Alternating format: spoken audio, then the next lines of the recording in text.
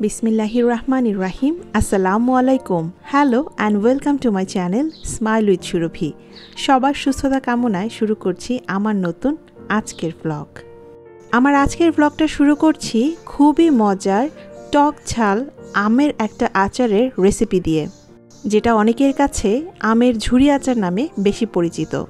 আর এই আমগুলো কিন্তু চলে এসেছে আমার নানু বাড়ি থেকে যেদিন আসলে সংসারের অন্যান্য সব কাজ সামলে আচার করা হয়, সেদিন কাজগুলো শুরু করা হয় একটু বেশি সকাল সকাল। তো ঝুড়ি আমের আচার হলেও এখানে কিন্তু আরেক পদের সেই তেলের আচারই করে নেওয়া হচ্ছে।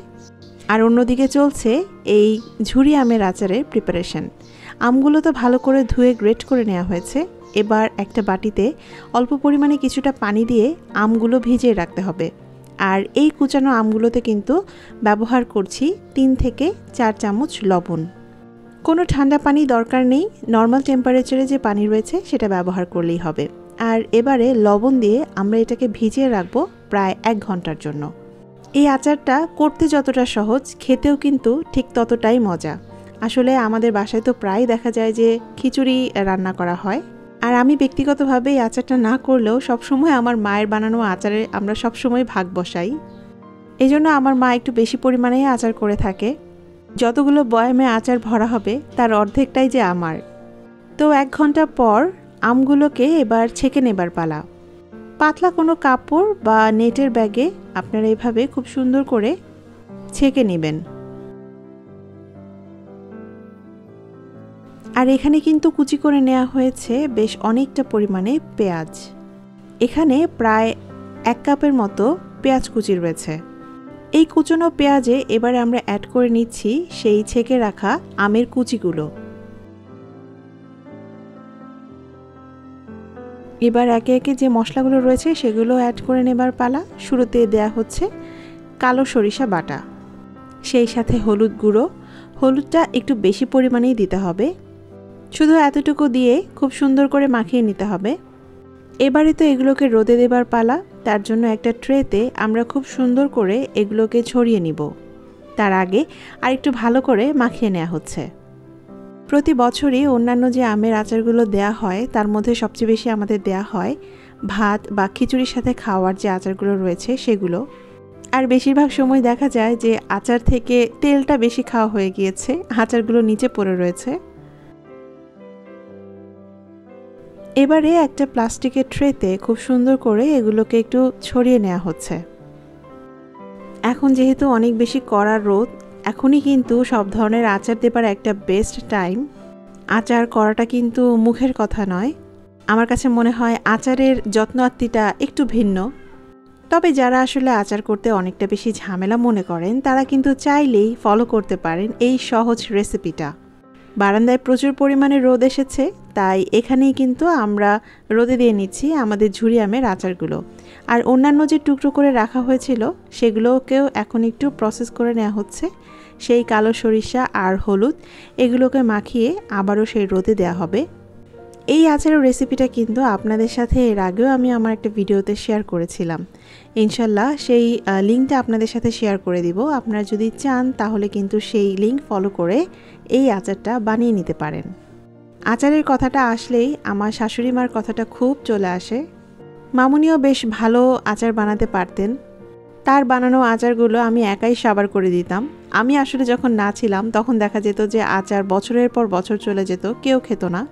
কিন্তু মামুনি বলতো যে যখন থেকে আমি এসেছি, তখন আচারগুলো তো বছর ঘোরা তো অনেক দূরের কথা, একটা মাসও নাকি ঘুরতে পারে না, তার আগেই শেষ হয়ে যায়। আমার শাশুড়ি মা তো আমাদের ছেড়ে চলে গিয়েছেন প্রায় তিন বছর, তো আমি কিন্তু এখনও ওনার হাতে বানানো এক কৌটো আচার রেখে দিয়েছি, ঠিক আগের মতো করেই। সবগুলো স্মৃতিই তো আসলে অনেকটা বেশি ধূসর হয়ে গিয়েছে, তো তার হাতের এই জিনিসটা আমি রাখার চেষ্টা করেছি। যতদিন আমি আসলে পারব, আমি এটাকে প্রসেস করে রাখব। আর যেহেতু আমি সেই আচারটা ফ্রিজে রেখেছি, তাই এখন পর্যন্ত সেই টেস্টটা রয়েছে একদম আগের মতো। তো এই আমগুলো একদম মাখিয়ে নেওয়া শেষ। এবার একটা চালনিতে করে এটাকেও রোদে দেওয়া হবে। আমের আচারের মধ্যে আমার সবচেয়ে বেশি ভালো লাগে যে কোনো মিষ্টি আচার অথবা আম সত্ত্ব আর আমার হাজব্যান্ডেরও খুব বেশি পছন্দ যে কোনো মিষ্টি স্বাদের আচার। তো ওর জন্য হলেও আমি হয়তো পরে কোনো এক সময় আচার দিব। আর এখন আমার কাছে এইটা হচ্ছে সবচাইতে বেস্ট একটা দৃশ্য। আর এভাবে আমার মা আচার দিবে আর আমি সেখান থেকে তুলে তুলে খাব না, সেটা তো একদমই হতে পারে না। আর একচল্লিশ ডিগ্রি তাপমাত্রায় আসলে দু ঘণ্টার মধ্যেই আমগুলো বেশ ভালো শুকিয়ে গিয়েছে। এবারে দেয়া হলো পাঁচফোড়ন ধনিয়া এবং জিরা গুঁড়া। সেই সাথে ভাজা শুকনো মরিচ এবং লবণ। এই সহজ কয়েকটা মশলা দিয়ে হয়ে যাবে খুবই মজাদার এই ঝুরি আমের আচার। সব কিছু মাখিয়ে নেবার পর আমি টেস্ট করে নিচ্ছিলাম এটা লবণ। এবারে একটা পরিষ্কার এবং অবশ্যই শুকনো একটা কাচের জারে মাখানো আমের কুচিগুলো ঢেলে নেওয়া হচ্ছে। আর এদিকে চুলায় একটু ভালো করে গরম করে নেওয়া হচ্ছে সর্ষের তেল। তেলটা ফুটিয়ে নেবার কোনো প্রয়োজন নেই, শুধুমাত্র একটু ভালো করে গরম হলেই হবে। এবারে দিয়ে দেওয়া হচ্ছে সেই সুঘ্রাণযুক্ত সর্ষের তেল। আচারের জন্য যে কোনো ভালো মশলা তো অবশ্যই দরকার, তবে আমার কাছে মনে হয় সবচেয়ে বেশি ভূমিকা পালন করে থাকে খুব ভালো মানের, ভালো টেস্টের একটা সর্ষের তেল। আর এই সর্ষেগুলো কিন্তু আমরা আমাদের পরিচিত দোকান থেকে ভাঙিয়ে সেটাকেই তেল করে নিয়ে আসি।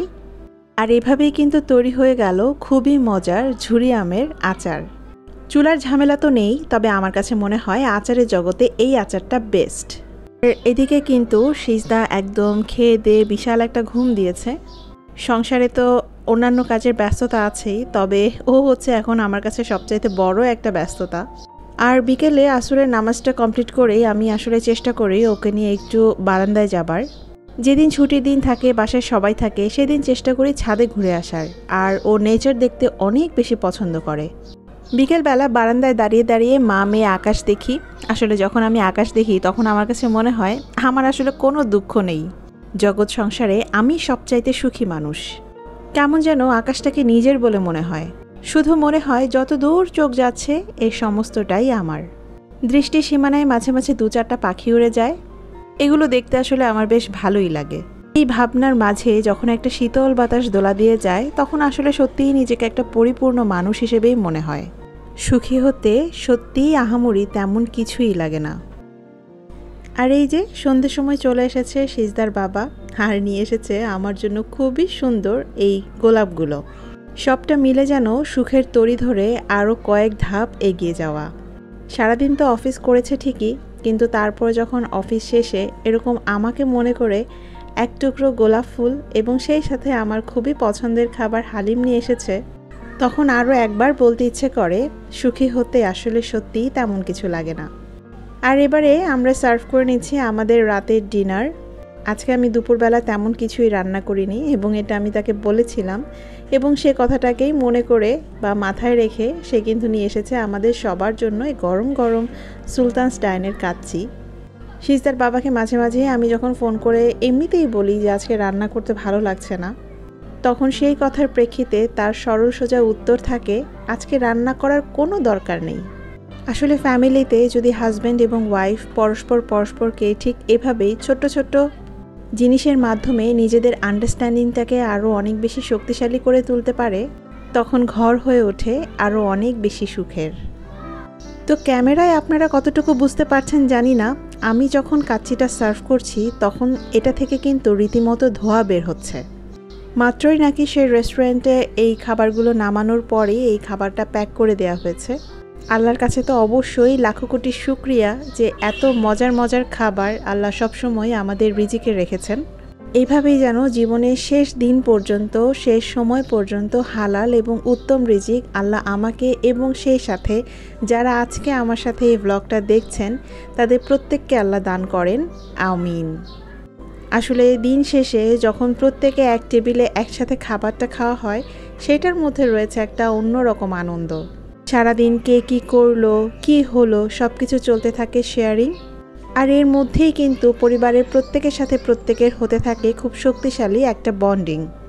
তাই সারাদিন যেমনই চলুক না কেন, দিন শেষে আমরা চেষ্টা করি পরিবারের সবাই মিলে এক টেবিলে বসে খাবার খাওয়ার।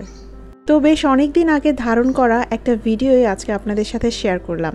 আসলে আমি হয়তো ভিডিওটা শ্যুট করতে পারি, কিন্তু সময়, সুযোগ বা ব্যস্ততা এসব কিছুর অভাবেই দেখা যায় যে ভিডিওগুলো শেয়ার করা হয় না।